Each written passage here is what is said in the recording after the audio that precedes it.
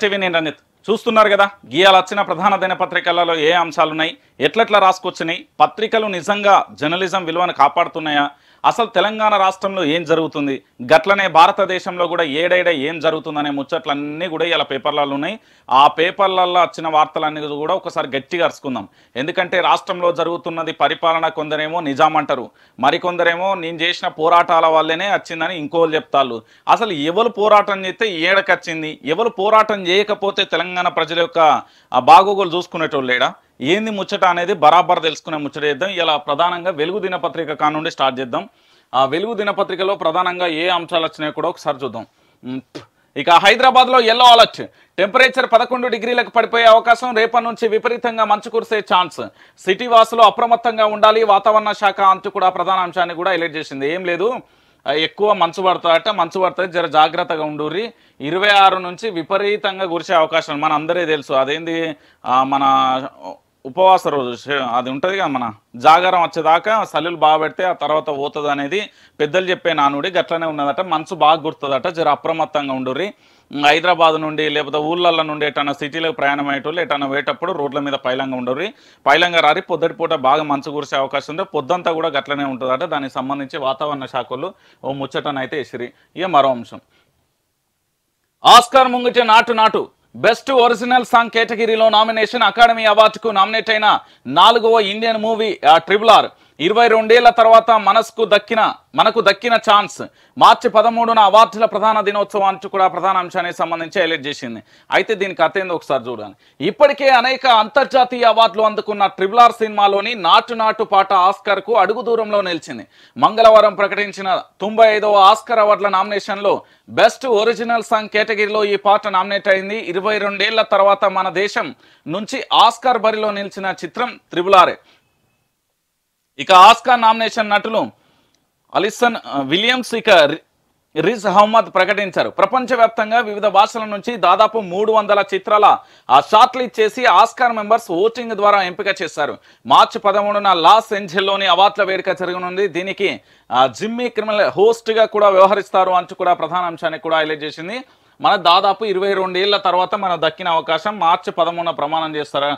అవార్డుల ప్రదానం చేస్తారట. ఆస్కార్ ముంగిట నాటు నాటు సాంగ్ అనేది వచ్చింది. దానికి సంబంధించింది కూడా ప్రధాన ముచ్చట. ఇసిల్లు సినిమా వల్ల ముచ్చట ఇది రైట్ ఇక మరో అంశం. వన్డేలో నెంబర్ వన్ అంటూ కూడా ప్రధాన అంశాన్ని చూడొచ్చు. ఖతర్నాక్ ఆటతో న్యూజిలాండ్తో మూడో వన్డేల సిరీస్ను మూడు సున్నాతో క్లీన్ స్వీప్ చేసిన టీమిండియా వన్డేలలో నెంబర్ వన్ ర్యాంక్ అందుకుంది. మంగళవారం ఇండోర్లో జరిగిన మూడో వన్డేలో ఇండియా తొంభై రన్స్ తేడాతో న్యూజిలాండ్ను చిత్తు చేసింది. ఆ, శుభ్మన్ గిల్ నూట పన్నెండు కెప్టెన్ రోహిత్ శర్మ నూట ఒకటి సెంచరీలతో దంచి కొట్టడంతో తొలుత ఇండియా యాభై ఓవర్లలో మూడు వందల ఎనభై ఐదు తొమ్మిది వికెట్లు కోల్పోయి స్కోర్ చేసింది. ఇక చేజింగ్లో కివిస్ నలభై ఒకటి పాయింట్ రెండు ఓవర్లలో రెండు వందల తొంభై ఐదు రన్స్ చేసి ఆల్అవుట్ అయింది అనేది ముచ్చట ప్రధానంగా చేసిలు క్రికెట్ అయితే దంచి కొడుతుల్లట బాలు ఆట నీ బంతిని దుమ్మ దుమ్మ కొడుతుర్రు క్రికెట్ గట్టిగా ఆడుతుర్రు అనేది ప్రధాన అంశం. మొత్తానికి వన్డేలల్లో మనమే ఫస్ట్లు ఉన్నమాట మొదటికి వచ్చినమాట అనేది అంశం. ఇక మరో అంశం. మంగళవారం సెక్రటరియట్ను నిర్మాణ పనుల పరిశీలిస్తున్న ముఖ్యమంత్రి కల్వకుంట్ల చంద్రశేఖరరావు ఆ పక్కన ఉన్న వాళ్ళు అంతా చూడురి ఒకసారి ముచ్చట చదువుతా. ఈ వచ్చే నెల పదిహేడున సెక్రటరీ సెక్రటరియట్ ప్రారంభం. తమిళనాడు జార్ఖండ్ సీఎంలకు ఆహ్వానం. అదే రోజు పరేడ్ గ్రౌండ్లో బీఆర్ఎస్ బహిరంగ సభ. సచివాలయం పనులు పరిశీలించిన CM KCR. CM KCR birthday రోజున కొత్త సెక్రటరియట్ ఓపెనింగ్ కానుంది. వచ్చే నెల పదిహేను ఉదయం సచివాలయాన్ని ప్రారంభించనున్నట్లు మంగళవారం మంత్రి ప్రశాంత్ రెడ్డి పేరిట సీఎంఓ నుంచి ప్రెస్ నోట్ రిలీజ్ అయింది. Tamil Nadu CM Stalin Jharkhand CM Hemant Soren Bihar deputy CM Tejashwi Ambedkar మనవడిని కూడా ఆహ్వానించారు. బీహార్ సీఎం నితీష్ కుమార్ను ఆహ్వానించిన ఆయన ప్రతినిధిగా జేడీయూ అధ్యక్షుడు లలన్ సింగ్ పాల్గొంటారు అంటూ కూడా ప్రధాన అంశాన్ని కూడా హైలైట్ చేసింది. అయితే ఇక్కడ ఒక పెద్ద ముచ్చట ఉన్నది. ముచ్చట సంబంధించి నేను గట్టిగా చెప్తా. జనవరి ఈయన కల్వకుంట్ల చంద్రశేఖరరావు ఈ టోపీ పెట్టుకున్న ఆయన రాష్ట్ర ముఖ్యమంత్రి కల్వకుంట్ల చంద్రశేఖరరావు. బాగా తెలుసు అందరికీ. చాలా సుపరిచితుడు చాలా అద్భుతమైన ప్రసంగం చేస్తాడు. ఈ రాష్ట్ర ముఖ్యమంత్రిగా ఘోరంగా అంటే ఘోరంగా విఫలమైండు. విపక్షాలలో పేరున్నది. ఇక అధికార పార్టీలనేమో మా ముఖ్యమంత్రి తోపు అంతకుమించి లేదనేది ఒకటి ఉన్నది. అయితే ఈ ముఖ్యమంత్రి గారి గురించి ఇక్కడ ముచ్చట ఏమున్నదంటే ఈ రాష్ట్ర ముఖ్యమంత్రి కల్వకుంట్ల చంద్రశేఖరరావు రాష్ట్రానికి ముఖ్యమంత్రే కదా? సెక్రటరియేటే కదా చేసేది? ఈ సెక్రటరియేట్లా ఈయన ఈ బిల్డింగ్ కట్టడానికి వచ్చి ఎన్నిసార్లు అంటే దీంతోనే ఒక అర డజన్ సార్ల నుండి డజన్ సార్లు వచ్చిండు. ఏడికి సెక్రటరియేట్ ఎట్లా కడతాళ్ళు? ఏం కథ? మరి అదే పేదోళ్ళ డబుల్ బెడ్రూమ్ ఇల్లులను పంపిణీ గురించి కానీ అక్కడ కట్టడాల నిర్మాణాల గురించి కానీ ఏం చేస్తుండే ఈ ముఖ్యమంత్రి అనేది? ఇప్పుడు పంచాయతీ మొదలైంది తెలంగాణలో. అంటే తన ఆఫీస్ కోసం అయితే ఉరికొత్తాడు. స్థానం ఎందుకంటే ఇక్కడనే ఉండేదిగా వీడికి వచ్చే మన ప్రజా దర్బారు పెడతాడా ప్రజలను కలుస్తాడా మళ్ళా ఈడ హై సెక్యూరిటీ ఉండి ఆ గేట్ కానీ ప్రజలను ఆపేస్తారా మళ్ళీ ప్రగతి భవన్ టూ అవుతుందా సచివాలయం అనేది కూడా మనం కూడా చూడాలి. ఈయన ఏదో అంబేద్కర్ పేరు పెట్టినా కదా అని అంబేద్కర్ మనవని పిలిచిన అనేది ఒక అంశం చెప్తాను ఇదే ఎన్నిసార్లు ఘటనలు జరిగే ఒక్కటే అంశం అండి. ఇక్కడ సెక్రటరియేట్ కానీ ప్రగతి భవన్ కానీ ఎన్ని రోజులలో కట్టుడైంది? అదే అమరవీరుల స్తూపం కానీ డాక్టర్ బాబాసాహెబ్ అంబేద్కర్ విగ్రహం కానీ ఈ దీంతో పాటు పేదోళ్ళ ఇల్లులు ఎంతవరకు కట్టుడైంది అనేది ఒకసారి మీరు ఆలోచించుకోర్రి. ఎందుకు ఈ ముచ్చట చెప్తున్నా అంటే ఈయన పుట్టినరోజే ఇది ప్రారంభం. ఈయన పుట్టినరోజు అదే ప్రారంభం చేస్తుండు అంటే ఇంకొక రాజకీయ ఎత్తుగడ కూడా ఉన్నది. ఇక నడుము మీద చేసి ఇట్లా పెట్టి అట్లా అట్లా అని టోపీ పెడతాడు ఇక మరి. ఏందో ఎండాకాలం ఏం పాడో కానీ టోపీలు అయితే కట్టే పెడతాడు ఈ టోప్ ఎట్లుంటుంది అంటే ఇక మళ్ళీ అట్లా ఎట్లుంటుంది అంటే మంచిగా మన ఊతు పిల్లగాళ్ళు అంతా వేరే దేశాలలో పోయి ఎంజాయ్ చేస్తారు కదా. అటు ఎంజాయ్ చేసినట్టు చేస్తాడు రాష్ట్ర ముఖ్యమంత్రి పద రాష్ట్ర ముఖ్యమంత్రి అంత సంతోషంగా ఇంకెవరు లేరబ్బా. నాకున్న ప్రకారం అయితే ఇగో మంచిగా చూడుర్రి ఆ సెక్యూరిటీ చూడుర్రి అటు పక్కన ఇటు పక్కన మంత్రులు అటు పక్కన ఇటు పక్కన కాంట్రాక్టర్లు అబ్బబ్బబ్బబ్బా ఏం నడుతుంది వైభోగం ముఖ్యమంత్రి గారిది. ఏ మరో అంశం. లక్షల కోట్లు అప్పు తెచ్చి ఏం చేసినావు? ప్రధాని మోదీపై మంత్రి కేటీఆర్ ఫైర్. దమ్ముంటే కృష్ణా నీటి వాటాపై తీర్మానం చేయాలి. ఎన్ని అడ్డంకులు వచ్చినా పాలమూరు పూర్తి చేస్తాం. మోడీ పాలనలో రైతుల కష్టాలు డబుల్ అంటే ఇక దీని గురించి నిన్న మావుడు కవిత్వమే రాసిండు. అన్న ఏట్ల రాయిది అయినోడు కూట్ల రాయిది ఇస్తాడే అనేది ఒకరు అన్నారు. ఇంకొకరు ఏమన్నారు అంటే మంత్రి కేటీఆర్ ఒక వ్యూహం ప్రకారమే పోతుండన్న ఆ వ్యూహాన్ని కూడా జర చూడవే అని చెప్పిండు. ఏంద్ర బిడ్డ ఏం వ్యూహం రా అని నేను అడిగే ప్రయత్నం చేసిన. ఆయన చెప్పింది కూడా నాకు కరెక్టే అనిపించింది. ఎందుకు అనిపించింది అంటే ముఖ్యమంత్రి కల్వకుంట్ల చంద్రశేఖరరావు జాతీయ పార్టీ పెట్టిండు. ఏంది బీఆర్ఎస్ భారత రాష్ట్ర సమితి. ఆ పార్టీకి ఈయన మళ్ళీ వర్కింగ్ ప్రెసిడెంట్ ఉండాలంటే మరి దేశం మొత్తం తెలవాలి కదా.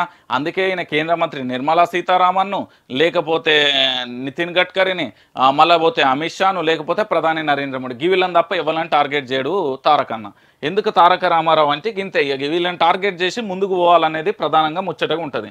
తెలంగాణ రాష్ట్ర వ్యాప్తంగా కేటీఆర్ అనే వ్యక్తి రాష్ట్ర రాజకీయాలంటే దేశ నేతలను తిట్టడం వల్ల వారి దృష్టిలో పట్టడం వల్ల జాతీయ నేతగా ఎదిగేందుకు ఒక ప్లాన్ చేస్తున్నాడు.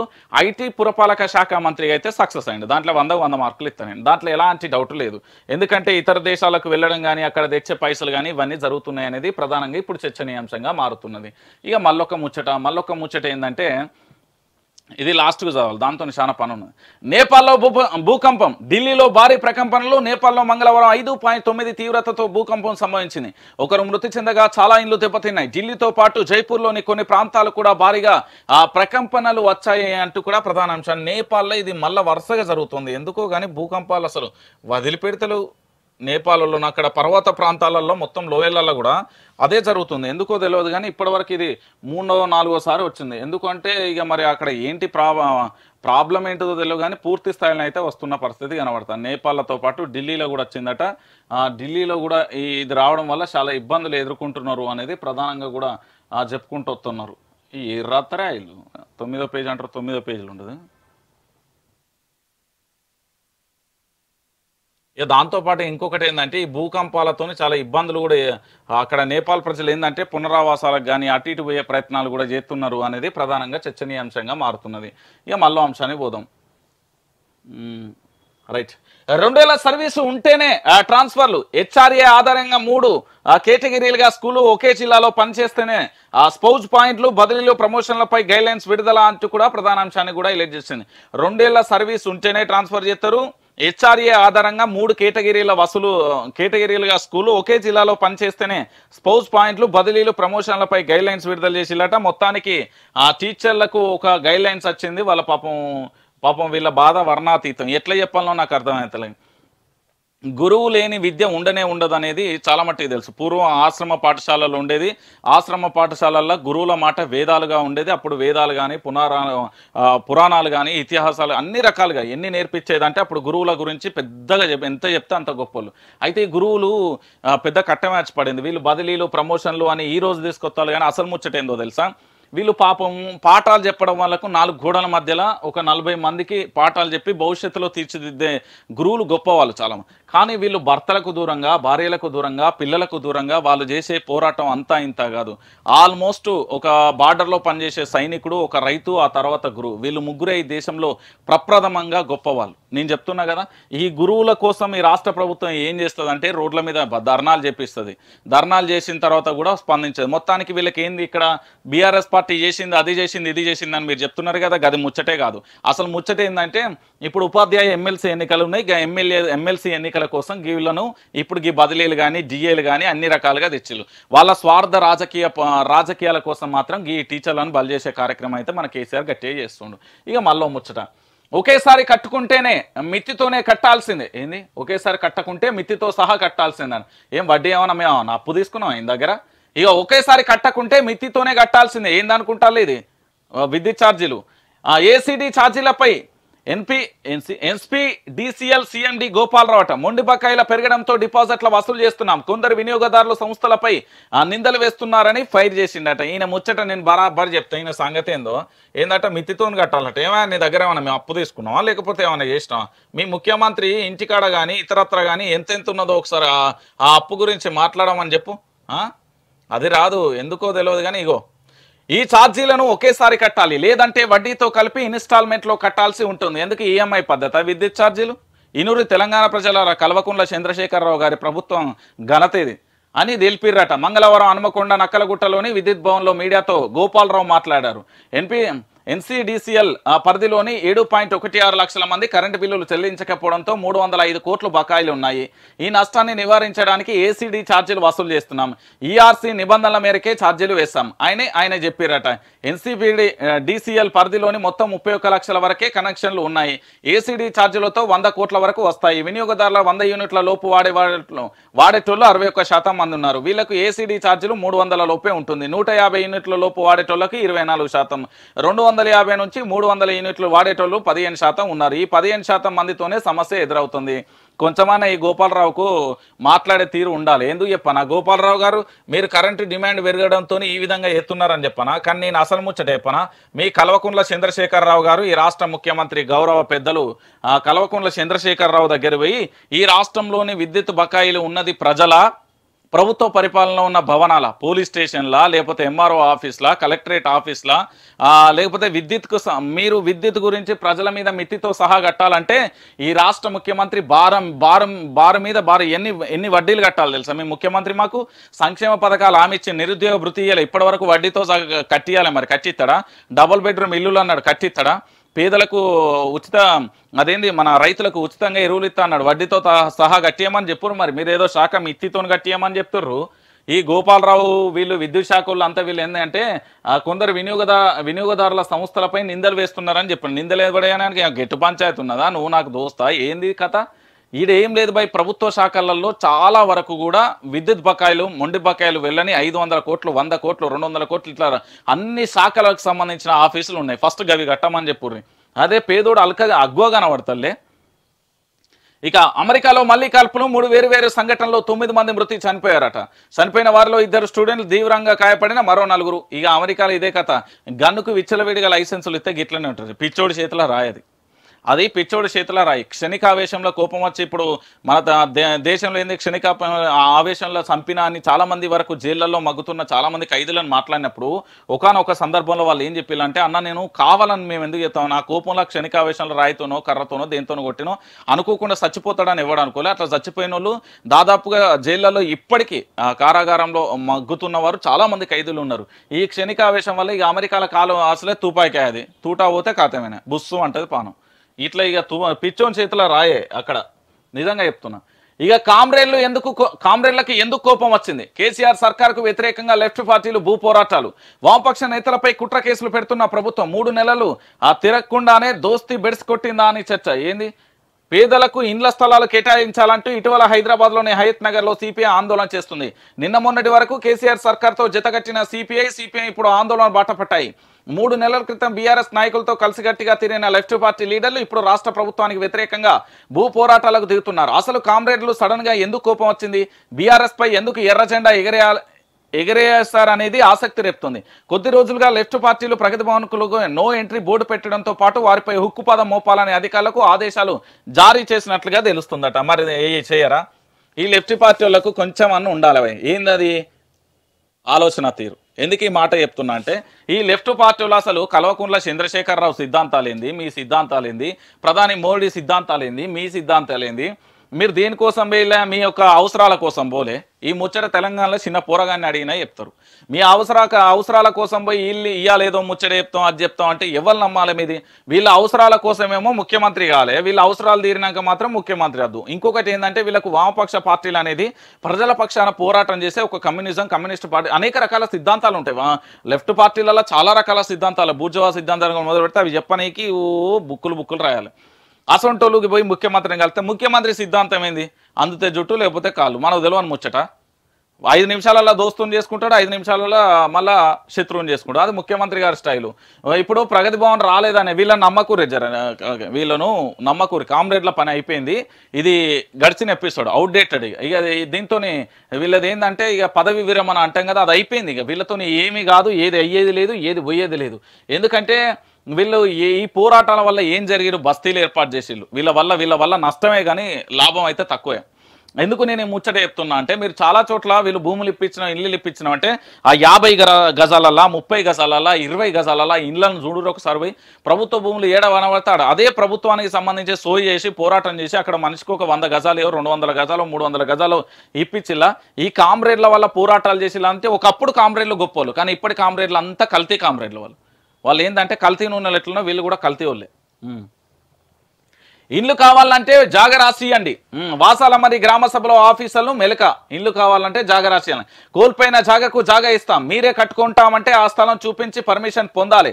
ఆర్థిక సాయం ఆ సంగతి మాకు తెలియదు. తప్పించుకునే ప్రయత్నం గ్రామస్తులు. ఇక చూసిర్రా. వాసాల మర్రి ముఖ్యమంత్రి గారు మీరు ప్రగతి భవన్ పోయి చూసిర్రు కదా ఇక చెప్పుర్రి? వాసాల మర్రులకు ఎవడు కట్టమన్నాడు? నిన్ను ఎవరు చేయమన్నారు? నేను మంచిగా ఉన్న గ్రామాన్ని ఆగం చేసుడు కాకపోతే ఏందా ఇది? ఇల్లు కావాలంటే జాగరాసి చేయండి గ్రామ సభలో మాట్లాడుతున్న అడిషనల్ కలెక్టర్ దీపక్ తివారి అట. ఏం చెప్తుండు? వాసాల మరి గ్రామ సభలో ఆఫీసర్ల మెలక. ప్రభుత్వం ఇల్లు కట్టించి ఇవ్వాలంటే రూల్స్ ఒప్పుకుంటూ మీ స్థలం డెవలప్మెంట్ కమిటీకి ఇస్తున్నట్లుగా అగ్రిమెంట్ రాసి ఇవ్వండి. ఇల్లు కట్టించి ఇస్తాం. మీరే కట్టుకుంటానంటే పర్మిషన్ ఇస్తాం. కానీ ఆ స్థలం మాకు చూపించాకే నిర్మాణం చేపట్టాలి. ఇంటి నిర్మాణానికి ఆర్థిక సాయం సంగతి మాకు తెలియదు. అయిపోయింది. కుండ బద్దలు కొట్టిండు. ముఖ్యమంత్రి కల్వకుంట్ల చంద్రశేఖరరావు అన్ని దొంగ ముచ్చట్లు చెప్పిండని చెప్పిండు. మంచిగా ఉన్న ఇండ్లకు నష్టం జరగకుండా లేఅవుట్లు రూపొందించాం. ఏమైనా కొన్నింటికి నష్టం జరిగితే పరిహారం అందిస్తాం. పక్కా ఇండ్లు అట్లనే ఉన్న వాళ్ళకు జాగలు ఇవ్వడం మా చేతిలో లేదు. మీకు ఇండ్లు ఉన్న వాళ్ళకు మళ్ళా జాగలు ఇవ్వడం మా చేతిలో లేదు. అని కేసీఆర్ దత్తత గ్రామమైన వాసాల మల్లి మర్రి ప్రజలకు యాదాద్రి జిల్లా ఆఫీసర్లు తెలిపిలు వాసాల మర్రిని కేసీఆర్ బంగారంగా మార్చేస్తానని ప్రకటించిన పదిహేడు నెలల తర్వాత ఇళ్ళ నిర్మాణంపై అడిషనల్ కలెక్టర్ దీపక్ తివారీ గ్రామసభ నిర్వహించారు. దత్తత తర్వాత నిర్వహించిన ప్రోగ్రాం జరిగిన డెవలప్మెంట్ గురించి తెలిపారు. ఆరు కోట్లతో కొండాపూర్ వాసాల మర్రి మధ్య జరుగుతున్న రోడ్డు విస్తరణ గురించి ప్రస్తావించారు. గ్రామంలోని డెబ్బై ఐదు దళిత కుటుంబాలకు దళిత బంధు అమలు చేసిన సంగతిని వివరించారు. ప్రభుత్వం రూపొందించిన బంగారు వాసాల మర్రి ప్లాన్ను ఆఫీసర్లు వివరించారు. గ్రామంలో రెండు పెద్ద రోడ్లు వస్తాయని తెలిపారు. పార్కులు community hall anganwadi school building నిర్మాణం జరుగుతుందని వివరించారు గ్రామంలోని నూట మూడు పక్క భవనాలను తొలగించకుండా మిగిలిన మూడు వందల మూడు ఇళ్ళను తొలగించి ఒక్కొక్కటికి రెండు వందల గజాలలో నిర్మించి ఇస్తామని తెలిపిర్రు. కొత్త గ్రామ పంచాయతీ బిల్డింగ్ కోసం ఇరవై లక్షలు మంజూరైనట్లుగా తెలిపిర్రు. కొత్త పంచాయతీ బిల్డింగ్కు బుధవారం శంకుస్థాపన చేయనున్నారట. ఇక ముచ్చట ఏంటంటే అగ్రిమెంట్ రాసిస్తేనే. డెవలప్మెంట్ కమిటీకి ఇంటి స్థలాలు అప్పగిస్తున్నట్లుగా ప్రతి కుటుంబం అగ్రిమెంట్ రాసి ఇవ్వాలని ఆఫీసర్లు తెలిపిల్లు అగ్రిమెంట్ ప్రక్రియ పూర్తయిన తర్వాత పైనుంచి అప్రూవల్ రాగానే ఇళ్ళ నిర్మాణం మొదలు పెడతామని చెప్పిర్రు. రెండు వందల గజాల కంటే ఎక్కువగా జాగా ఉండి నష్టపోయిన వాళ్ళకు డెవలప్ చేస్తున్న పదకొండు ఎకరాలలో అంతే జాగా ఇస్తామన్నారు. బంగారు వాసాల మర్రి నిర్మాణంలో పక్కా ఇండ్లకు నష్టం జరగకుండా చూస్తామని చెప్పిళ్ళు. సొంతంగా కట్టుకుంటేనే. ఇక కొందరు గ్రామస్తులు తాము సొంతంగా ఇంటి నిర్మాణం చేసుకుంటే పర్మిషన్ ఇస్తారా అంటూ ప్రశ్నించారు. దీంతో పర్మిషన్ ఇస్తామని ఆఫీసర్లు తెలిపిల్లు అయితే ప్లేస్ తమకు చూపించిన తర్వాతే నిర్మాణ పనులు చేపట్టాలని సూచించారు. తాము సొంతగా ఇంటి నిర్మాణం చేసుకుంటే సంబంధించిన వ్యయం ఇస్తుందా అని మరికొందరు ప్రశ్నించగా అది తమ చేతులలో లేదని ప్రభుత్వ నిర్ణయం ప్రకారం జరుగుతుందని తేల్చి చెప్పారు తేల్చి చెప్పారు.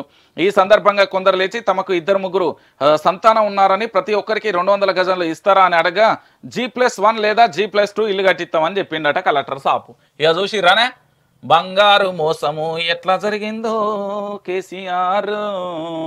ఏడున్నావయ్యా? నువ్వు జా వాసాల మరి. ఇగో ఇది మన కలవకుంట్ల చంద్రశేఖరరావు గారి డెవలప్మెంట్. ఇదే సెక్రటరియట్కు డజన్ నుంచి అర డజన్ సార్లు పోయిండు కదా ముఖ్యమంత్రి. మరి వాసాల మరికి ఎన్ని డజన్ల సార్లు పోయిండవా అని అడుగుతున్నారు తెలంగాణ ప్రజలు. ఇప్పుడు మీరు చెప్పిర్రు గిడ ఏమని చెప్పిర్రు? గట్ల జరుగుతుంది గిట్ల జరుగుతుంది గిడ జాగిత్తలేరు జాగట్టుకుంటాం అంటే వాళ్ళని ఎట్లా చేసి తెలుసా? మంచిగా ప్రశాంతంగా మూడు పూటలు అన్నం తిని ఉప్పు కారమో లేకపోతే ఏదో ఎల్లిపాయ తొక్కో కారపొడియో లేకపోతే మాడికాయ పచ్చడినో నిమ్మకాయ పచ్చడినో వేసుకొని కంటిన్యూ ఆ బువ్వక్కడ బువ్వ తిని కంటి నిద్రపోయి పొద్దుగాల పోయి బాయికాడ పని చేసుకునేటోళ్ళను ఎంత పంచాయతీ మొదలు పెట్టినాను ఇక్కడ వాసాల మరికి నువ్వు ఎంత ఎంత పంచాయతీ మొదలు? ఆ రోడ్లు అంటే నీ నువ్వు రాష్ట్రంలో కాదా? అది ఏంది? రోడ్లు ఏ రా ఏ గ్రామంలో అయినా వేయాలి. అప్పుడు ఎవరు ఎన్టీఆర్ హయాంలో చంద్రబాబు హయాంలో వేసిన రోడ్లే ఇంకా తెలంగాణలో ఉన్నాయి. నువ్వు కొత్తగా వేసి పొడిచింది ఏం లేదంటున్నారు తెలంగాణ ప్రజలు. గిట్లా గిట్ల చెప్పవచ్చే ఈ ముఖ్యమంత్రి. ఇక గ్రా వాసాల మరి డెవలప్ అవుతుంది అంటే ఏడవుతుందా చూడరి పాపం ప్రజలు ఎంత అవస్థలు పడుతుర్రో. ఈరోజు మేము మంజూరు చేసిన మంది ఎన్ని రోజులలో ఎత్తరా సెక్రటరియట్ ఎన్ని రోజులు అలా కట్టిలు ప్రగతి భవన్లు ఎన్ని రోజులలో కట్టిలు వాసాల మళ్ళీ ప్రజల్ని ఎందుకు అవస్థలు పెడతారు? ఎందుకు బాధ పెడతారు మీరు అసలు? ఎవడు తీసుకోమన్నాడు దత్త? ఎందుకు వచ్చిన లొల్లి? వాళ్ళ ఇల్లు గూల కొట్టుడేంది వాళ్ళ కథ ఏంది? ఏందో ఏం కథనో వీళ్ళ సంగతి. ఇక మళ్ళీ సారు సినిమా స్టార్ తీయండి ఇక్కడ బీజేపీతోనే ఉన్నాం. తెలంగాణలో నా ఉనికి నామ మాత్రమే పవన్. అబ్బా! అయినా సరే ఏడు నుంచి పద్నాలుగు ఎంపీ సీట్లలో పోటీ చేస్తాం. ఎన్నికల సమయంలోనూ పొత్తుల గురించి ఆలోచిస్తున్నాం. కొండగట్టులో వారాయికి ప్రత్యేక పూజలు. నిన్న జనసేన అధినేత పవన్ కళ్యాణ్ కొండగట్టుకు వచ్చిండు. కొండగట్టుకు వచ్చి ఏం మాట్లాడిండంటే ఏడు నుంచి పద్నాలుగు సీట్లను నుంచి పోటీ చేస్తామన్న. కానీ నిన్న ఆయన చాలా ముచ్చట్లు బయట పెట్టిండు. ఒకసారి చదువుతున్నర్రి ఇనుర్రి. ఇదంతా స్వాగతం పలికింది దోస్తి అంతా మా అందరికీ తెలుసు కానీ ముచ్చట కావాలి మాకు? మాకు ప్రధాన ముచ్చట కావాలి. అసలు ఏంది కథ అనేది కావాలి. ఎడవై వారాయి ఆ, ఇగో వచ్చాడు. రాబోయే తరానికి దిక్సూచిలా ఉంటాం. రాబోయే తరానికి జనసేన నాయకత్వం దిక్సూచిలా ఉంటుందని పవన్ అన్నారు. తనపై వస్తున్న విమర్శలను స్వీకరించడానికి సిద్ధంగా ఉన్నానని ప్రజల కోసం అవసరమైతే వీధి పోరాటాలకు కూడా రెడీగా ఉన్నామని చెప్పిర్రు. అవునులే వందకు వంద శాతం వీధి పోరాటాలకు సిద్ధంగా ఉన్నారు.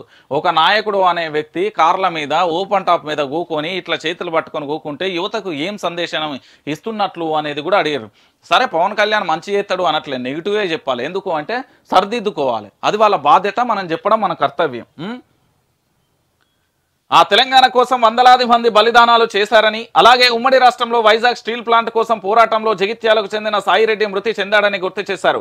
తెలంగాణ ఆంధ్ర సమస్యలు వేరువేరని రెండింటిని పోల్చి చూడలేమని తెలంగాణ వ్యాప్తంగా పర్యటించి ఇక్కడి సమస్యలపై లోతాన్ని అధ్యయనం చేస్తానని చెప్పారు.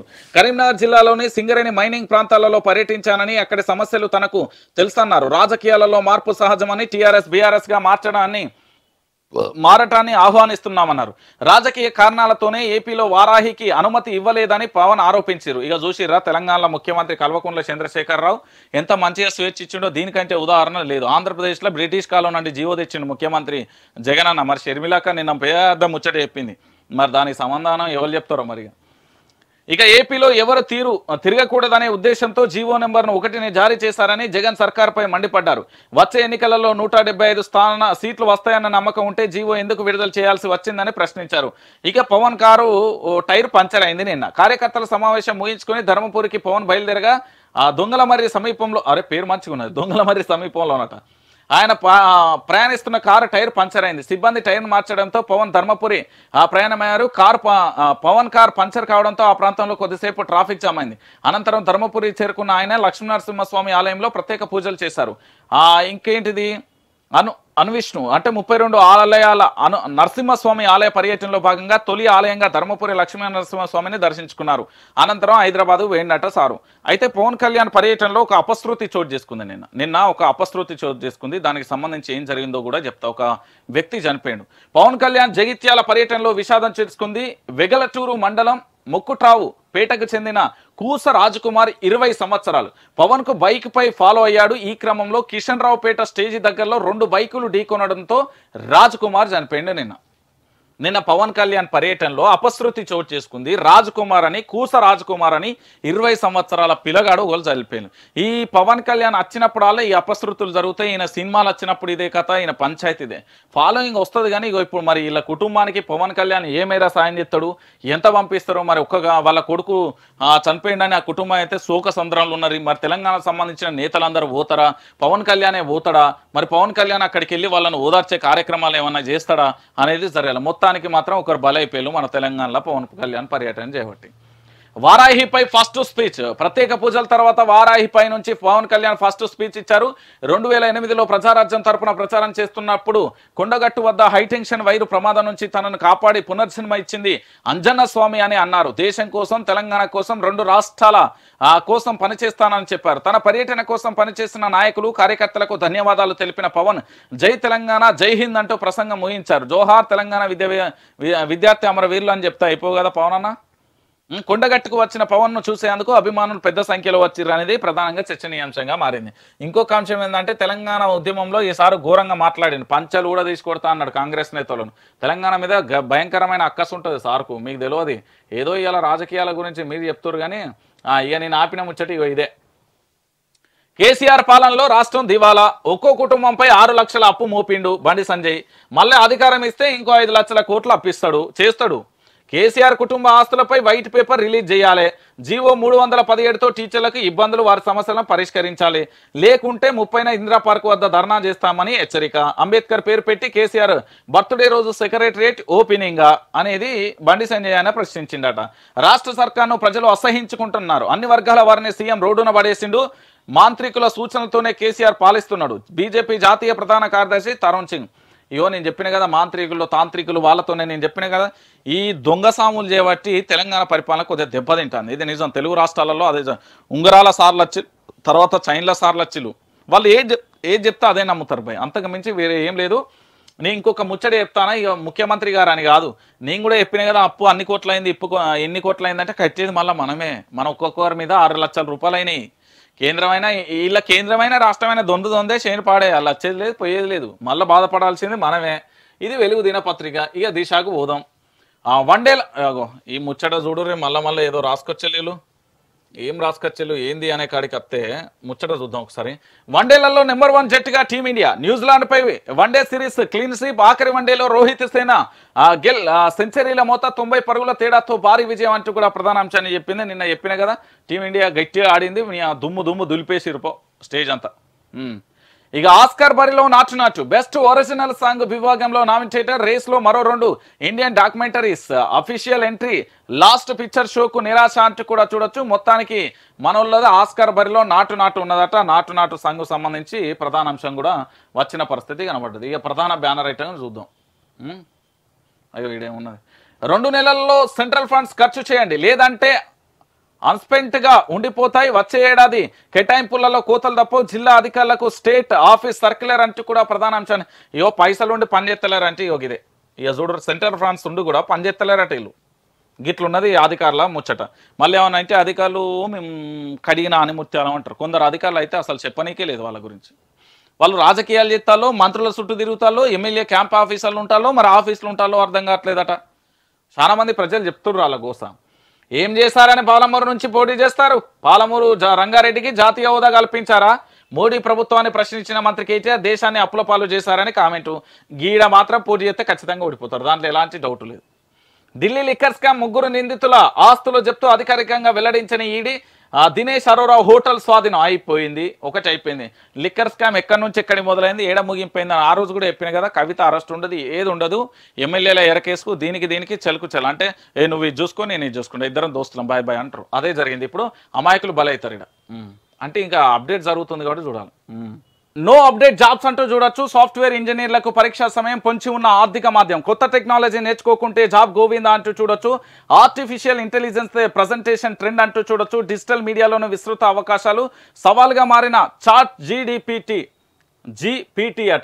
ఏం లేదు ఈ సాఫ్ట్వేర్ ఉద్యోగులకు సంబంధించి ప్రస్తుతం ఆర్థిక మాధ్యం పొంచి ఉన్న పరిస్థితులలో చాలా ఐటీ కంపెనీలు వీలైనంత వరకు ఉద్యోగులను తొలగిస్తున్నాయి. స్కిల్స్ లేని వారు మూస పద్ధతిని అనుసరిస్తున్న వారికి ఆ మంగళం కూడా పా- పద్ధతి ఏంది? మంగళం వాడుతున్నారట ఆ ప్రజ ప్రజెంట్ ఆర్టిఫిషియల్ ఇంటెలిజెన్స్ ట్రెండ్ కొనసాగుతుండడంతో ఎప్పటికప్పుడు అప్డేట్ అయిన వారికి ఎలాంటి డోకా లేదు. అలా కాకుంటే జాబ్ పోయినట్లే ఇటీవల గూగుల్ పన్నెండు వేల మంది ఉద్యోగులను తొలగించింది. వీరంతా సాఫ్ట్వేర్ స్కిల్స్ అప్ అప్డేట్ చేసుకోవడంతోనే జాబ్స్ కోల్పోయి అప్డేట్ చేసుకోకపోవడంతోనే జాబ్స్ కోల్పోయారట స్కిల్స్ ఉన్న వారినే మార్కెట్లలో ఎక్కువగా డిమాండ్ ఉన్నందునే ఇదే ఉదాహరణ అంటూ కూడా ప్రధాన అంశానికి సంబంధించి కూడా హైలైట్ చేసిన పరిస్థితి కనబడుతుంది. అంటే పూర్తి స్థాయిలో కూడా జరుగుతున్న పరిస్థితి ఏంది అంటే ఐటీ కంపెనీలలో ఎక్కువగా కూడా ఇప్పుడు జరుగుతున్నది ఏంది అంటే కొంతమేరకు ఎప్పటికప్పుడు పరిస్థితులు మారుతున్నప్పుడు దానికి అనుగుణంగా మనం మారాలి.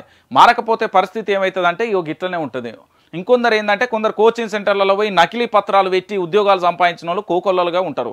వాళ్ళు ఏంది అంటే ఎక్కడైతే పనితనం వస్తుందో పని చేయగలుగుతాడో కష్టపడతాడో వాడికి ఏందైనా ప్లాట్ఫామ్ ఉంటుంది బై దాంట్లో ఎలాంటి డౌట్ లేదనేది కూడా మనం చూడొచ్చు. ఇప్పటి వరకు జరుగుతున్న ప్రతి అంశంలో కూడా ఇవే కనబడుతున్నాయి. అంటే ఓవరాల్గా జరుగుతున్న అంశాలతో పాటుగా మరొక అంశాన్ని కూడా మనం చూడొచ్చు.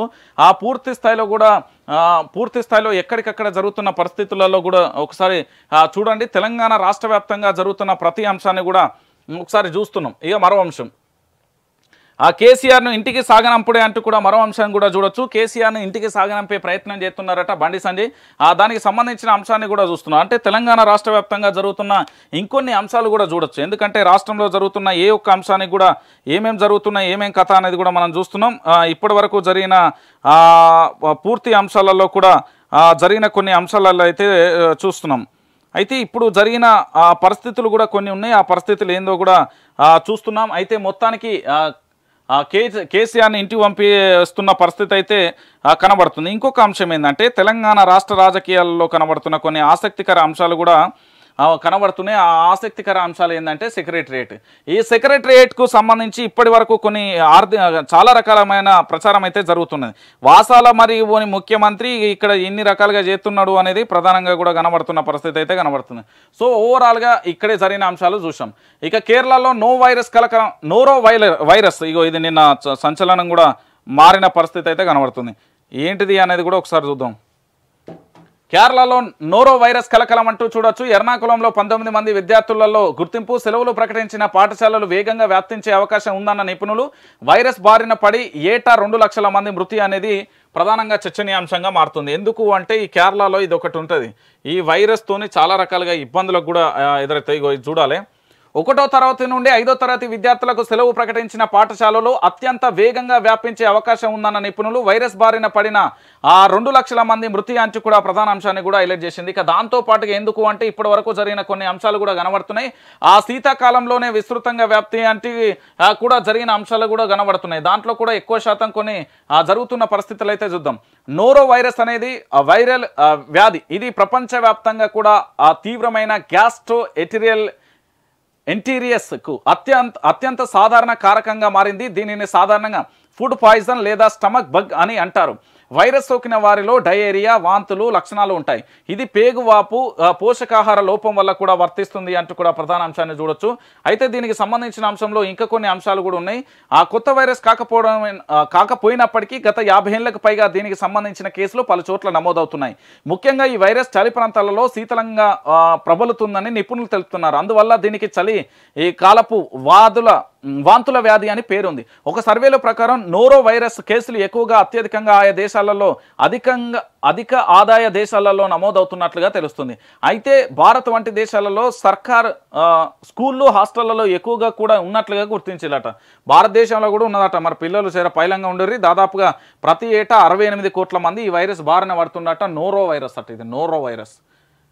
అర్ణాకులంలో పంతొమ్మిది మంది విద్యార్థులలో గుర్తించిల్లట దీంతో చనిపోయే వ్యాప్తి కూడా ఎక్కువ కనబడుతుంది అనేది ప్రధానంగా చర్చనీయాంశంగా మారింది. ఇక దీంతో పాటుగా మరో అంశం ఏంటంటే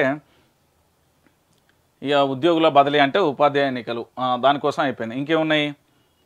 ఇప్పటికీ బీజేపీతోనే ఉన్న ఎన్నికల సమయంలో పొత్తులపై చర్చకు ఆ చర్చ తెలంగాణలోనూ పోటీ బీఆర్ఎస్ను స్వాగతిస్తున్న స్వాగతిస్తున్న జనసేన అధినేత పవన్ కళ్యాణ్ అయిపోయింది. ఇక జగన్కు ఇన్విటేషన్ లేదు బీఆర్ఎస్ ఆవిర్భావ సభకు అంతే కొత్త సెక్రటరియేట్కు ఓపెనింగ్కు అందని ఆహ్వానం అంటూ కూడా మరో అంశాన్ని చూసినాం. ఎందుకు జగన్ అన్నను విలువలేదు అనేది కూడా చాలా అంశాలు చర్చనీయాంశంగా మారుతుంది. జగన్ అన్న ఏం పాపం చేసిండు? పక్కనే ఉంటాడు కదా ఎందుకు విలువలేదు అనేది అడుగుదాం. ఆ బీఆర్ఎస్ ఆవిర్భావ సభకు అంతే కొత్త సెక్రటరీ ఓపెనింగ్ సైతం కూడా అందని ఆహ్వానం. పొరుగు రాష్ట్రంలో అయితే పార్టీ ఇస్తున్న ఏపీ సీఎంతో మాత్రం దూరం. అసలు దేనికి వీళ్ళకు స్నేహమా వైరమా ఏమైంది ఏం కథ అనేది ఒకసారి చూద్దాం. పాత గతాన్ని పోదాం. ఇంట్లో ఏదైనా శుభకార్యం చేసుకుంటే ఇరుగు పొరుగు వాళ్ళని పిలుస్తాం ఓకే. ఇక స్నేహంగా ఉంటే ఇంటికి వెళ్ళి కూడా మరీ ప్రత్యేకంగా ఆహ్వానిస్తాం. తెలంగాణలో కొత్త సచివాలయ ప్రారంభోత్సవానికి ముహూర్తం ఖరారైంది. వచ్చే నెలలో వైభవంగా ఓపెనింగ్ చేస్తుండగా వేడుకకు దూరపు రాష్ట్రాల సీఎంలను ఆహ్వానించారు. ఇక దానితో పాటుగా కానీ పక్క రాష్ట్రమైన ఏపీ సీఎం జగన్కు మాత్రం ఇన్విటేషన్ వెళ్ళలేదు. ఆయనకు కేసీఆర్ ఎందుకు పిలవలేదు? పిలిచే ప్రయత్నం చేశారా? లేక పిలిచినా రాడని తెలిస్తే ఆహ్వానించలేదా? అనేది చర్చ జరుగుతుంది. ఈయన రెండు వేల పంతొమ్మిది కాళేశ్వరం ప్రాజెక్టు ప్రారంభోత్సవానికి అయితే జగన్ హాజరయ్యాడు. అది అందరూ వేడుకగా చూసినాం. ఈ ఇందులో బీఆర్ఎస్కు గ్రీ ఈసీ గ్రీన్ సిగ్నల్ ఇచ్చిన తర్వాత సీఎం కేసీఆర్ పలు రాష్ట్రాల సీఎంల మద్దతు ప్ర ప్రయత్నించారు. అంటే ఉత్తరాది రాష్ట్రాల సీఎంలు మాజీ సీఎంలు పార్టీల లీడర్లతో కూడా మంతనాలు జరిపారు. కానీ పొరుగు రాష్ట్రంలో ఉన్న ఏపీ సీఎంతో మాత్రం ఇంతవరకు మాట్లాడినట్లుగా దిక్కే లేదు ఎందుకు అంటే వీళ్ళిద్దరి మధ్యలో విభేదాలు ఉన్నాయా? లేకపోతే ఇంటర్నల్గా ఏదైనా అవగాహన ఉన్నదా? లే అనే అనుమానాలు కూడా రేకెత్తుతున్నాయి. వచ్చే ఏపీ అసెంబ్లీలలో ఎన్నికలు బీజేపీ ఏ పార్టీతోనో పొత్తు పెట్టుకుంటుంది అనేది మరొక చర్చనీయాంశంగా మారిందట. మరి జగన్ను మద్దతు ఇస్తారా ఏంది అనేది చూడాలి. ఇక షర్మిల తీరే కారణమా? జగన్తో విభేదించిన అతని చెల్లెలు షర్మిల తెలంగాణలో కొత్త రాజకీయ పార్టీని ఏర్పాటు చేస్తారు. అయితే దీంతో సీఎం అసహనంగా ఉండడమే కాకుండా గత నెలలో ఉమ్మడి వరంగల్ జిల్లాలో షర్మిల యాత్రలో మాట్లాడిన భాషపైన తీవ్ర ఆగ్రహం వ్యక్తం చేసినట్లుగా తెలుస్తుంది. ఆ తర్వాతే ఆమె పాదయాత్రకు గులాబీ కార్యకర్తలు అడ్డుకున్నారనే ప్రచారంలో ఉంది. షర్మిలను కట్టడి చేయడంలో జగన్ విఫలమయ్యారని అందుకే కేసీఆర్ కోపంతో ఉన్నట్లుగా తెలిసింది. మొదట్లోనే ఆమెను కంట్రోల్ చేసి ఉంటే పరిస్థితి ఇందాక వచ్చేది కాదనే అభిప్రాయంలో కేసీఆర్ ఉన్నట్లుగా తెలుస్తుంది. మళ్ళీ ఇంకోటి బీఆర్ఎస్ పై మౌనంగా జగన్. ఆవిర్భావంతో టీడీపీ మంత్రులు స్పందించిర్రు. ఏపీలో పార్టీ ప్రభావం జీరో కామె జీరో అని కామెంట్ చేశారు కానీ జగన్ మాత్రం ఇంతవరకు నోరు విప్పలేదని ప్రధానంగా. అయితే జగన్ అన్నకు వీళ్ళకున్న ఒక అంశం ఏంటంటే జగన్ అన్నకు వీళ్ళకు ఒక ప్రత్యేక అంశాలు కూడా కనబడతాయి. అంటే రెండు మూడు అంశాలు కూడా ఉంటాయి. ఒకటి కాదు రెండు కాదు. దీంట్లో జరుగుతున్న ప్రతి అంశాలు కూడా ఒకసారి మనం చూడొచ్చు. తెలంగాణ రాష్ట్ర వ్యాప్తంగా జరుగుతున్న కొన్ని అంశాలు కూడా ఆ, చూస్తున్నాం. అంటే బీఆర్ఎస్తో పాటు వైఎస్ జగన్మోహన్ రెడ్డికి మధ్య ఏంది అంటే ఒకటి కాదు రెండు కాదు చాలా అంశాలు కూడా వస్తున్నాయి అనేది ఒకసారి చూడొచ్చు. ఇంకొక అంశం ఏంటంటే ఇప్పటి వరకు జరిగిన కొన్ని పరిణామాలు కూడా మనం చూస్తున్నాం. దాంతో పాటుగా జరుగుతున్న అంశాలతో పాటుగా కొన్ని ఇప్పటి వరకు రాష్ట్ర రాజకీయాలలో జరిగిన అంశాలలో కూడా అనేక అంశాలను కూడా మనం చూస్తున్నాం. మొత్తానికి తెలంగాణ రాష్ట్ర వ్యాప్తంగా కూడా ఆ జరుగుతున్న అంశాలతో పాటుగా కొన్ని అంశాలను కూడా మనం చూస్తే అసలు ఏం జరుగుతుంది ఏంటి అనేది కూడా మనకు తెలియాల్సిన అవసరం కూడా ఉంది. అంటే తెలంగాణ రాష్ట్ర వ్యాప్తంగా జరుగుతున్న కొన్ని పరిణామాలలో ఆ జరిగిన పరిణామాలు కూడా చూసినాం. అయితే మొత్తానికి ఇక్కడ వైఎస్ జగన్మోహన్ రెడ్డికి సంబంధించి మాత్రం ఓవరాల్గా పరిస్థితులు అయితే ఇవి చోటు చేసుకున్నాయి. ఇక మల్లో పత్రికకు పోదాం. మల్లో పత్రికకు సంబంధించి కూడా ఏమేమి వస్తాయో ఏం కథ కూడా చూసే ప్రయత్నం అయితే చేద్దాం. సో మొత్తానికి జగన్మోహన్ రెడ్డికి సంబంధించి గిట్లున్నది దిశ పత్రిక రాసుకొచ్చింది దీనికి సంబంధించి. రైట్ ఇక ఆదాబ్. ఆదాబ్కి సంబంధించి కూడా చూద్దాం. ఆజ్కి బాత్. ఎవరి అధికారం కోసం వాళ్ళు వెంపర్లాటలు? ప్రజలు ఏమైపోతున్నా సంబంధం లేనట్లు. ఎవరికి ఓటేస్తే మేలు జరుగుతుందో తెలియని విషమ పరిస్థితులు. కొత్త కొత్త విధానాలు కొత్త కొత్త వాగ్దానాలు నెరవేరని పాత వాగ్దానాలను వెక్కిరిస్తున్నాయి. ఏ పార్టీ చూస్తున్నా ఏమున్నది గర్వకారణం? అవినీతి మాయమాటల మూటలు తప్ప ఎవరు వస్తారో ఏదో చేస్తారో ఆశ కూడా ఆవిరైపోతుంది అహతవిధి. మాకిక దిక్కెవరు అనేది ప్రధానాంశం కూడా. ఆజ్కి బాత్. నిజంగా చెప్పాలంటే తెలంగాణ ప్రజలారా మీరు ఒక అంశాన్ని చర్చనీయాంశంగా మారుతుంది. తెలుగు రాష్ట్రాలలో జరుగుతున్న కొన్ని పరిణామాలలో అనేక అంశాలను కూడా చూస్తున్నాం. ఆ అనేక అంశాలలో భాగంగా ఇప్పటివరకు జరిగిన కొన్ని అంశాలను కూడా నేను వివరిస్తున్నా. భారత రాజ్యాంగం ఏర్పడినప్పటి నుండి డాక్టర్ బాబాసాహెబ్ అంబేద్కర్ తన సాయుధం అంటే తన యొక్క టీంతో ముసాయిదా కమిటీ ఉన్న సభ్యులు కానీ ఇతరత్ర సభ్యులు కలిసి రాజ్యాంగం రచించినప్పటికీ ఇక్కడ ప్రజాస్వామ్యం రాజకీయ పార్టీలు ఇతరత్ర అన్ని ఉన్నప్పటి నుండి కూడా ఎక్కడ కూడా ఎక్కడ కూడా ఏ రాజకీయ పార్టీ ఇచ్చిన మేనిఫెస్టోను ఇంతవరకు పూర్తి స్థాయిలో నెరవేర్చిన దాఖలాలు లేవు.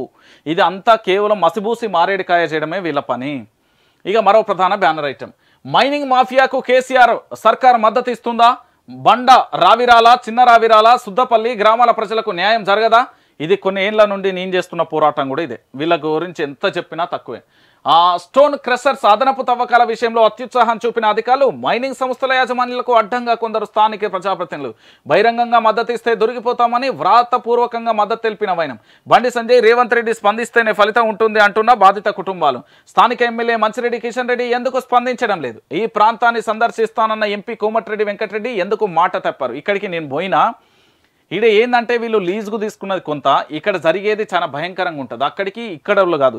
ఇతర రాష్ట్రాల నుంచి వచ్చిన వాళ్ళు మాత్రమే అక్కడ మొత్తం కాపలదారులు ఉంటారు కుక్కలు ఉంటాయి రకరకాలుగా ఉంటారు. అక్కడ లోపలికి కూడా పోనీయరు. వీళ్ళ పరిస్థితి దీని గురించి ఎందుకు మరి అధికారులు చర్యలు తీసుకోరో నాకు ఇప్పటి వరకు కూడా అర్థమవుతలేదు దాని గురించి చూసి చూసి వచ్చింది. ఇక కేరళ రాష్ట్రంలో కొత్తగా నోరో వైరస్ అప్రమత్తంగా ఉండాలని హెచ్చరిక హెచ్చరించిన వైద్యులు అరవై రెండు మంది విద్యార్థులలో కనిపించిన లక్షణాలు. పరిసర ప్రాంతాలు పరిశుభ్రత రక్షిత మంచినీటి అందించాలని కేరళ ప్రభుత్వానికి ఆ ప్రభుత్వం నిర్ణయం అంటూ కూడా ప్రధాన అంశాన్ని కూడా హైలైట్ చేసింది. ఇక కేసీఆర్ కుటుంబం ఆ, ఆస్తులపై శ్వేతపత్రం విడుదల చేయాలి. మహబూబ్ నగర్లో బీజేపీ రాష్ట్ర కార్యవర్గ సమావేశంలో బీజేపీ స్టీ చీఫ్ బండి సంజయ్ అంచు కూడా ప్రధాన అంశానికి సంబంధించి కూడా హైలైట్ చేసింది. అదంతా మనం చెప్పుకున్నాం. ఏం లేదు శ్వేతపత్రం వీళ్ళు ఏం చెప్తారట అంటే రాజకీయానికి ఏ ఒక్క అవకాశం ఉన్నా బీజేపీ వాళ్ళు వాడుకునే ప్రయత్నం చేస్తారు. ఎట్లా అంటే రాష్ట్రీయ ఆర్థిక పరిస్థితిపై కూడా శ్వేతపత్రం విడుదల చేయాల్సిందే. మూడు వందల పదిహేడు జీవో సవరణపై ఈ నెల ముప్పైన ఇందిరా పార్క్ వద్ద మహాధర్నా చేస్తాం. సర్కార్ మెడలు వంచేదాకా కేసీఆర్ను వదిలిపెట్టే ప్రసక్తే లేదు. రెండు వేల నలభై నాటికి భారత్ అభివృద్ధి చెందిన భారత దేశంగా భారత్ను చూడబోతున్నాం. ఐదు లక్షల కోట్లు అప్పు చేసి రాష్ట్రాన్ని దివాలా తీసిన కేసీఆర్ మద్యం ద్వారా తెలంగాణలో ఒక్కో కుటుంబం సగటున ఏటా యాభై వేల రూపాయలు కేసీఆర్కు చెల్లిస్తున్నారు. ఒక్కో కుటుంబంపై ఆరు లక్షల అప్పు గిఫ్ట్గా ఇస్తున్న కేసీఆర్ బీజేపీ ఆధ్వర్యంలో రామరాజ్యాన్ని ఏర్పాటు చేసే సమయం ఆసన్నమైంది. కేసీఆర్ సర్కార్కు ప్రజలు బుద్ధి చెప్ప చెప్తారు ఎంపీ లక్ష్మణ్. రెండు వేల నా నలభై ఏడు నాటికి దేశంగా అభివృద్ధి బండి సంజయ్ అని చెప్తాను నేను చదువుకున్నా. భారతదేశం అభివృద్ధి చెందుతున్న దేశం. రేపు నా పిల్లలు కూడా భారతదేశం అభివృద్ధి చెందుతున్న దేశం. వాళ్ళ పిల్లలు కూడా భారతదేశం అభివృద్ధి చెందుతున్న దేశం. ఇదే జరుగుతుంది. మా తాత నుండి చూసుకుంటా వస్తాను. భారతదేశం అభివృద్ధి చెందుతున్న దేశం. అది అయ్యేది లేదు పోయేది లేదు. బండి సంజయ్ అని చెప్తాను కానీ నేనైతే అంటే ఒక రకంగా చెప్పాలంటే మన దేశ ప్రజలు కొన్ని సాంప్రదాయాలు కొన్ని నమ్మకాలు కొన్ని టెక్నాలజీతో ఎంత పనిచేసినా కూడా ఇక్కడ ప్రజలలో ఒక ప్రగాఢమైన గా- ఇక్కడ మారాల్సింది భారతదేశం అభివృద్ధి చెందాలంటే ఫస్ట్ రాజకీయ నాయకులు మారాలి. లేకపోతే వాళ్ళ కొడుకులు కూడా ఇప్పుడు బండి సంజయ్ వాళ్ళ కొడుకు కొడుకు కూడా గిట్లనే అంటారు. భారతదేశం అభివృద్ధి చెందుతున్న దేశం అనే చెప్తాడన్న. నీకు అర్థమవుతలేదు రైట్ ఇక కొండగట్టులో జనసేనాని ప్రత్యేక పూజలు వారాహికి వేదోక్తంగా పూజా కార్యక్రమాలు. సాంప్రదాయ పంచకట్టులో పాల్గొన్న పవన్ కళ్యాణ్ పొత్తులపై ఎన్నికలప్పుడే నిర్ణయిస్తామని వెల్లడి ఇక తెలంగాణ అభివృద్ధికి కృషి చేస్తా. కొండగట్టున కొండగట్టు నాకు పునర్జన్మనిచ్చింది పవన్ కళ్యాణ్. పవన్ రాకతో భారీగా తలవచ్చిన అభిమానులు అంటూ కూడా ప్రధానాంశానికి సంబంధించి హైలైట్ చేసిన ఇది మనం చదివినాం. ఇక అమెరికాలో వరుస కాల్పులు అనేది ప్రధానాంశాన్ని కూడా చూడొచ్చు. ఇక యాదాద్రిష్ని ఆదాయం కో- కోటి ఎనభై నాలుగు లక్షల నానాటికి పెరుగుతున్న భక్తుల రద్దీ వివరాలు తెలిపిన యాదాద్రి కార్యనిర్వాహక అధికారట ఊరి నాయను తిరుమల టూ. ఇంకేంది స్టార్ట్ అయింది? దాదాపు కోటి ఎనభై లక్షల ఎనభై అంటే ఆల్మోస్ట్ రెండు కోట్ల వస్తుందట ఇది ఎప్పుడు ఆదాయం? ఎన్ని రోజులకు ఒకసారి? గది కూడా చూద్దాం మనం. అంటే రోజు ఆ రోజు ఇంత వస్తుందా లేకపోతే?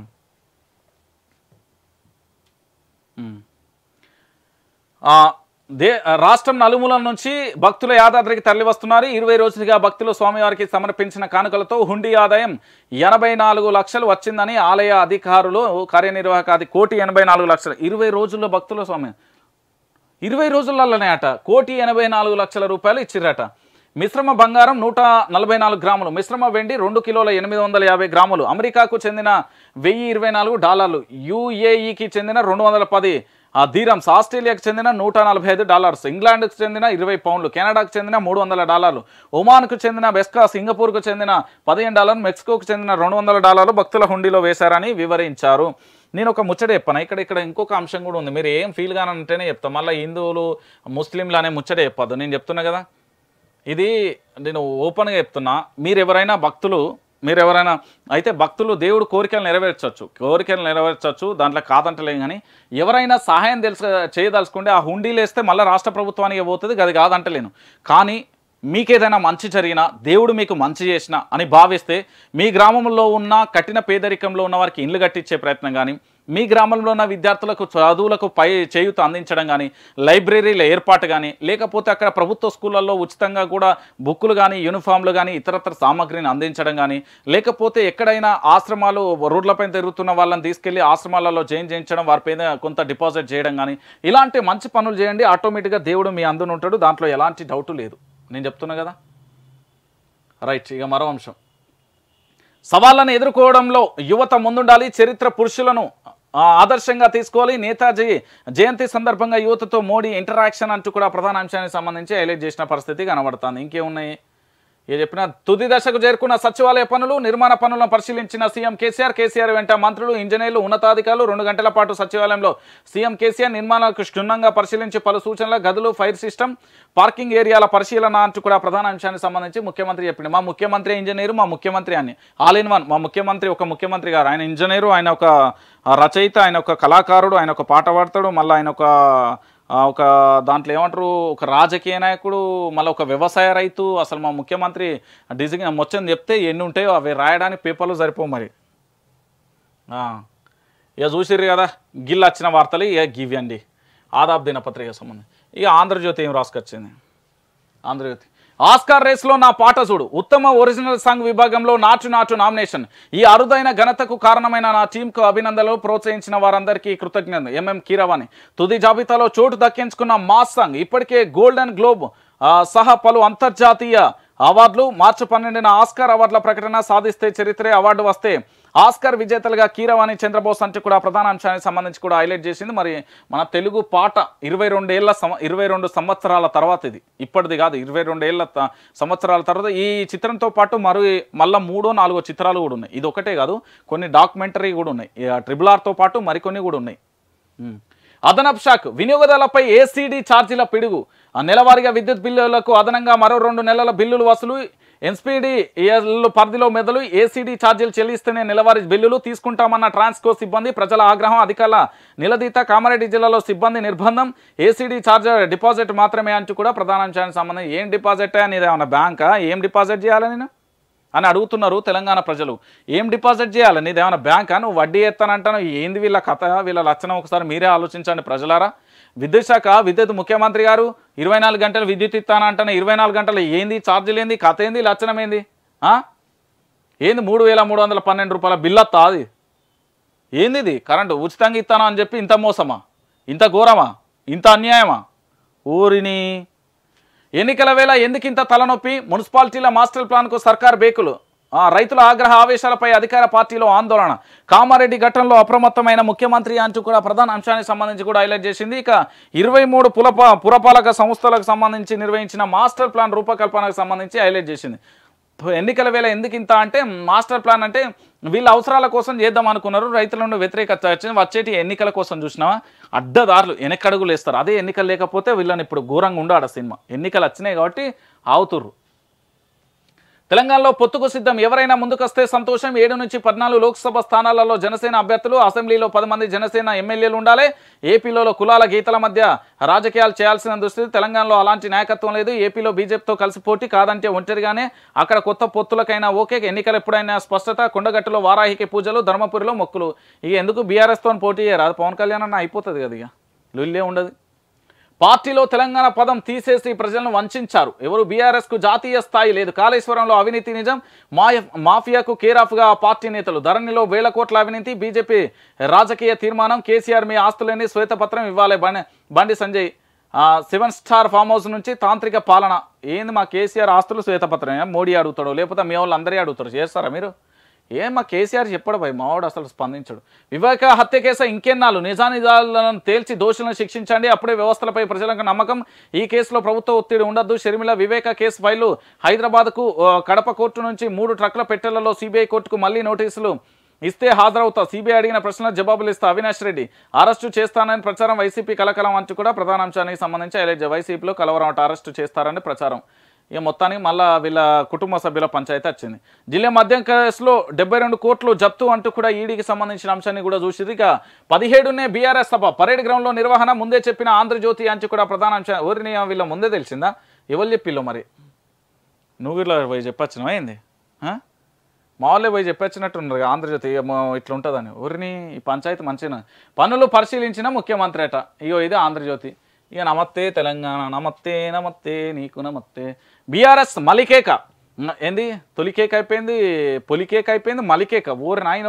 ఫిబ్రవరి పదిహేను పర్యటనలో భారీ బహిరంగ సభ తమిళనాడు జార్ఖండ్ సీఎంలు Stalin Soren Bihar CM deputy CM Tejashwi రాకా అంటూ కూడా చూడొచ్చు. అదే రోజు సచివాలయం పదకొండు గంటల ముప్పై పన్నెండు గంటల ముప్పై మధ్యలో ముహూర్తం ఉన్నదాట. సెక్రటరియట్కు బీఆర్ అంబేద్కర్ పేరు ఖరారు. బాబాసాహెబ్ మనవడు ప్రకాష్కు కూడా ఆహ్వానం. సచివాలయం పనులు పరిశీలించిన కేసీఆర్. కేసీఆర్ చెప్పినా కూడా వాసాల మరి ఓడు కానీ ఇడికైతే పోతుండే. ఇది ముచ్చట. ఐదేళ్ళు దాటిన హెచ్ఎంల బదిలీలు ఉపాధ్యాయులకు గరిష్టంగా ఎనిమిదేళ్ళు అంటూ కూడా మరో అంశానికి సంబంధించి కూడా హైలైట్ చేసింది. రైతన్నలపై పన్నా సిగ్గు సిగ్గు. కార్పొరేట్లకు పన్నెండు లక్షల కోట్లు మోడీ మాఫీ. కాదని నిరూపిస్తే రాజీనామా చేస్తారు. రైతులకు ఇన్కమ్ ట్యాక్స్ వేయాలని ప్రధాని సలహాదారు అంటున్నాడు. అంతకంటే దుర్మార్గం ఉంటుందా? సొల్లు మాటలు ఆపి కృష్ణా జిల్లాలో తెలంగాణ నీటి వాటర్ని తేల్చండి. బీజేపీ రాష్ట్ర కార్యవర్గ సమావేశాల్లో పాలమూరు రంగారెడ్డికి జాతీయ హోదాపై తీర్మానం చేసే దమ్ముందా? బీజేపీ నాయకులకు కేటీఆర్ సవాలు. అయిపోయి ఇజ్జత్ తీసిండు బీజేపీ వాళ్ళది బీజేపీ ఇజ్జత్ మొత్తం తీసేసిండు కేటీఆర్.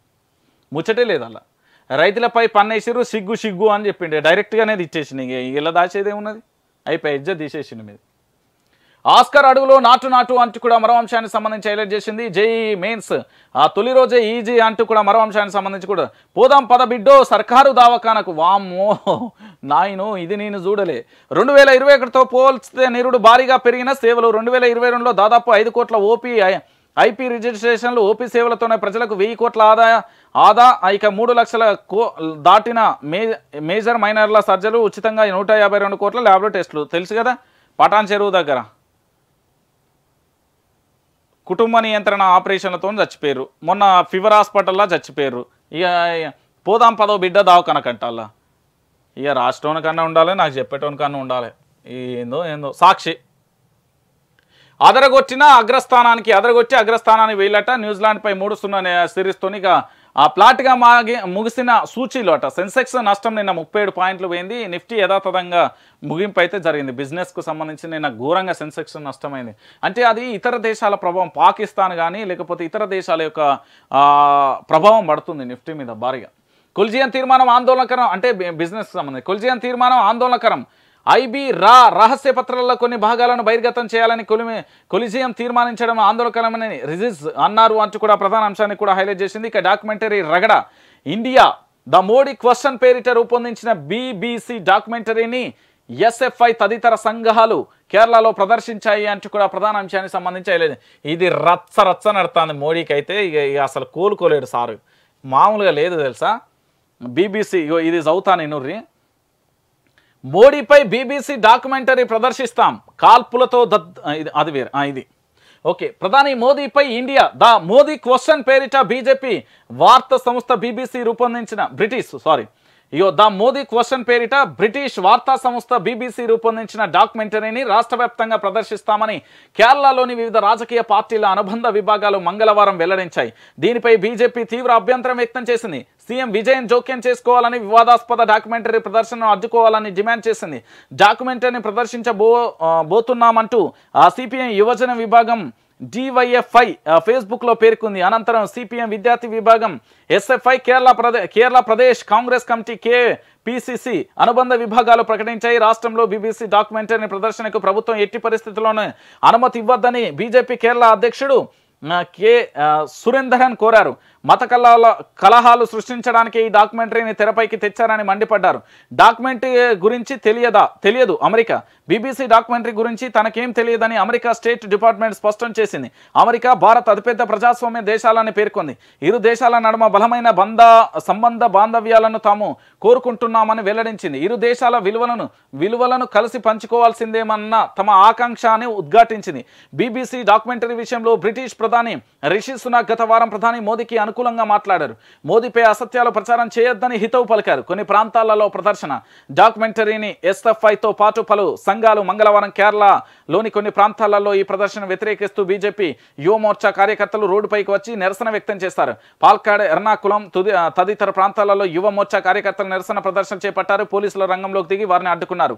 కేవలం కేరళలో కాదు దేశవ్యాప్తంగా కూడా డాక్యుమెంటరీ ప్రదర్శిస్తామని సిపిఎం యువజన విభాగం డివైఏ డివైఎఫ్ఐ మంగళవారం తేల్చి చెప్పి అది కూడా తెలుస్తుంది. ఎందుకు అంటే ఇప్పటివరకు అసలు ఏం జరుగుతుంది ఏం కథ అనేది కూడా ఒక క్లారిటీ రావాలి. ఎందుకు అంటే ఇది బీబీసీ రూపొందించింది బ్రిటిష్ వారి సంస్థ ఛానల్కి సంబంధించి వాళ్ళు చేసిన దానికి రచ్చ రచ్చ జరుగుతుంది. నిజంగా అప్పుడు ప్రధాని మోదీ క్వశ్చన్ క్వశ్చన్ మార్క్ దాన్ని చేయాలి.